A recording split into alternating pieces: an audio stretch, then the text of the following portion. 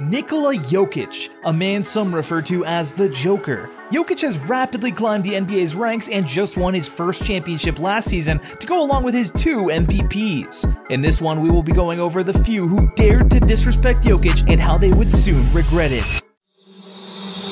You're watching Hoop Harmony. Hoop Harmony. Nikola Jokic versus Jae Crowder is an odd one, truth be told. Jokic was literally just playing basketball and ended up scoring on Rudy Gobert. However, right after he scores, he does look at Gobert in an almost mocking way. Jae Crowder didn't like this and he proceeds to call him a. Right after he says this, he gives Jokic a shove with his forearm. Jokic lets it slide for a second, but once he realizes what happens, you can hear the stone cold music play in his head as chaos ensues immediately after. This took place in the first half, and Jokic ended up having a dominant 20 and 20 game with 28 points, 21 rebounds, and 6 assists as the cherry on top. Let's just say the Joker had the last laugh in this one.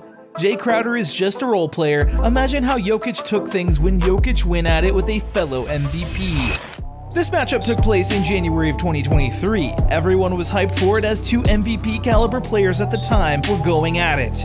Joel Embiid versus Nikola Jokic. This rivalry was at an all-time high at this point in time. The first couple of quarters, it was a very close game and competitive at that. At some point during the third quarter, Joel Embiid had Jokic on an island one-on-one. This was it, the matchup everyone came to see. Embiid drove past Jokic and hammers home a crazy baseline dunk. In the fourth quarter, everything got real as the Sixers and Nuggets were going back and forth. Embiid decided to go at Jokic time after time again. During the last 30 seconds of the game, Joel had Jokic alone yet again and says, Let me have this dance, and proceeds to show an impressive array of moves and tops it off with a step back three. The crowd goes insane. Embiid was doing all types of taunting after the shot. In addition to this, Joel Embiid said a quote saying how he doesn't need to stat pad to win an MVP, which was an obvious shot at Jokic and everyone knew it. The next time the two teams matched up, Embiid was of course missing in action. Joel Embiid hasn't played a game in Denver since 2019, and the Denver fans reminded him of this. Jokic absolutely feasted in this game. It was as if he remembered exactly what Joel had done to him, and he made sure to take it personally. He was shooting over defenders, throwing alley oops, and simply dominating the entire time, finishing the game with a triple double consisting of 25 points, 17 rebounds, and 12 assists. This next player is not only an absolute block machine, but he's also a three-time Defensive Player of the Year. Nikola Jokic versus Rudy Gobert. It's not often that Jokic meets somebody that is able to guard him properly, let alone guard him at all. This momentary beef takes place at the beginning of 2020. Gobert was guarding Jokic on this particular play until a foul was called on Rudy. Rudy Gobert immediately went to talk to the ref. He then says something and does a flop like motion to indicate that Jokic was flopping. It seriously looked like Gobert was having some kind of seizure or something. He looked like a fish out of water. From that day forward, Jokic decided to give Gobert the business every time they match up. Jamal Murray tells us a story about Joker and something he said to Rudy. One night, Jokic was cooking the Jazz very badly, and there was absolutely nothing Gobert could do about it. Therefore, the Jazz coach decided to send help for Rudy. Rudy immediately denied the help from his teammates, saying, Don't help, I got this. I'll let Jamal Murray tell the rest. Gobert goes, uh, no, I got him, I got him, I got him. So Yoke has the ball. He goes, brother, I have 47. In addition to Jokic dropping a career high at the time of 47 points, he also eliminated Rudy Gobert from the playoffs two times in the last three years alone. One of those eliminations coming last year en route to Jokic's first NBA championship. I think it's safe to say Rudy Gobert learned his lesson after all of this. A three time Defensive Player of the Year is crazy, but going against two superstars is even crazier. The stars in question Kevin Durant and Devin Booker. Jokic has been beefing with the Suns team for quite some time now, whether it was with Cam Payne, Devin Booker, or the latest one, Kevin Durant. To make matters worse, the Suns eliminated Jokic and his Nuggets from the playoffs back in 2021. Jokic would soon get his revenge in 2023 when he had the pleasure of going at it against the one-two punch of Kevin Durant and Devin Booker.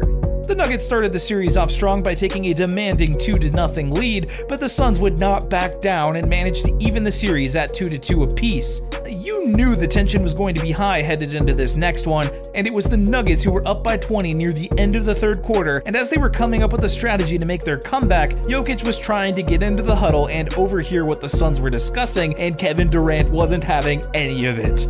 This is when he proceeds to shove Jokic out of the huddle, and Jokic sells it well enough to force the refs to give KD a technical. Jokic went on to drop a triple double and win that game in a convincing fashion. He brought his team up to 3 and 2 in the series, and he somehow topped that performance and dropped a 30 point triple double, winning that game by 25 points. He absolutely obliterated the Suns and took that Durant shove personally. He also showed Kevin Durant how to win a ring the right way. This next situation is what you've all been waiting for Jokic's most real beef. This one had the entire Miami Heat team waiting outside of the Nuggets locker room.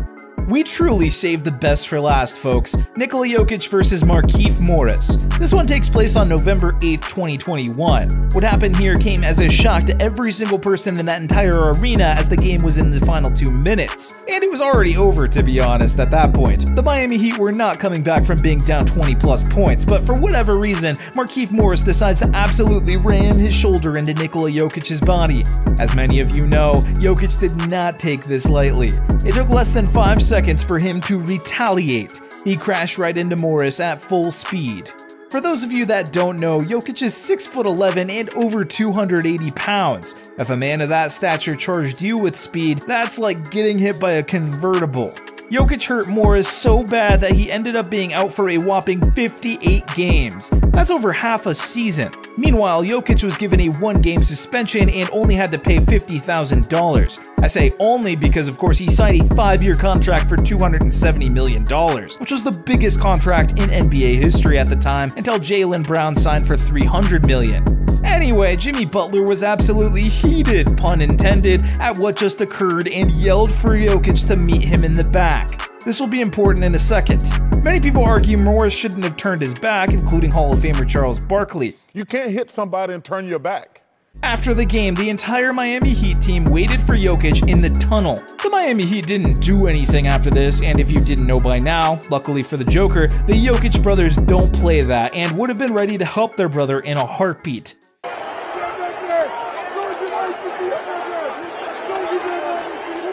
Jokic wound up beating the Heat in their next matchup anyway, and if you haven't been able to tell, when there's beef, Jokic will always drop a triple double, and there was no difference with this one 19 points, 12 rebounds, and 12 assists. These were five cases of why you don't mess with the man they call the Joker. Thank you for watching as always. Make sure to like and subscribe. If you feel we missed any cases, be sure to let us know in the comments.